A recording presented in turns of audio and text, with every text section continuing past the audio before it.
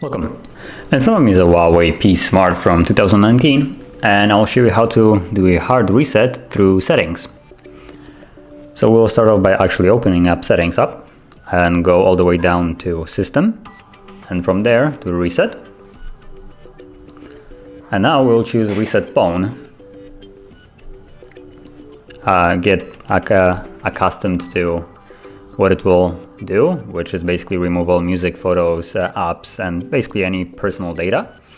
And once you're comfortable with that, made a backup or whatever you need to do, copy, copied, uh, you can tap on reset phone and uh, reset phone once more and wait for the process to go through.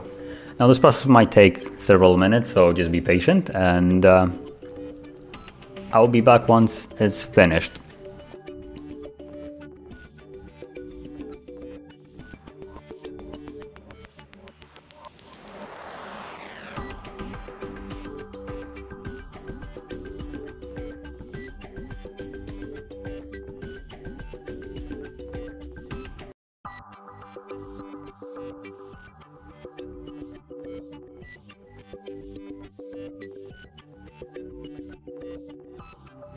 And as you can see, now the process has been finished and uh, all the personal data have been removed from the phone and now you can set up your Android as you like again.